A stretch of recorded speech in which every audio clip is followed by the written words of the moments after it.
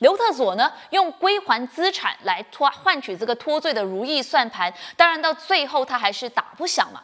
因为西蒙政府在通话里头呢，是拒绝了刘特佐这些狮子开大口的要求。那今天全国总警长阿杜哈密也向媒体证实，刘特佐当年的确曾经跟西蒙政府谈判。他就反问刘特佐：如果真的觉得自己没有犯法的话，那为什么不改回来马来西亚呢？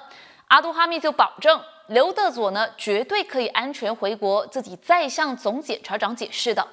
那除了跟西蒙之间的谈判内容曝光之外呢，刘特佐在电话在这个电话当中呢，还向西蒙政府坦白了伊马公司资金的来龙去脉。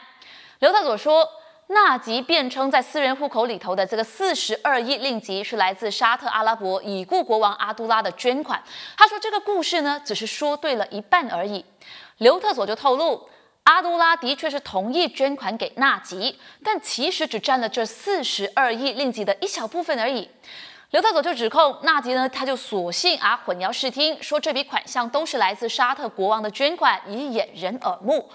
而最人这就最让让人惊讶的就是呢，在这些伊马公司的资金当中，居然有超过一半是花在纳吉夫人罗斯玛的珠宝上面的。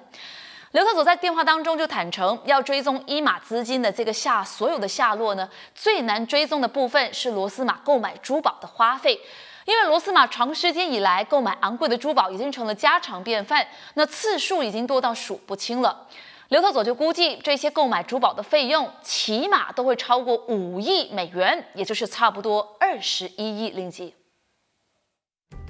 单单购买珠宝就花掉了伊马公司半副身家。刘特佐在半岛电视台纪录片的通话记录里认为，之前充公行动所获得的珠宝不过是罗斯玛所购买的金银首饰的冰山一角，让当局听了都忍不住在电话里再向刘特佐多确认一次。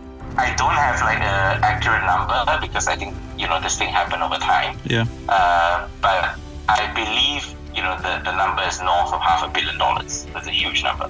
Come again? How much? The number I think is north of half a billion dollars. 刘特佐透露，罗斯玛的时尚导师也是新加坡服装设计师的娜塔莎，拥有罗斯玛所有购买珠宝的记录。在纪录片当中也说，娜塔莎在二零一九年被列为通缉犯之后，从此音讯全无，也增加了西蒙政府索回伊玛公司资金的难度。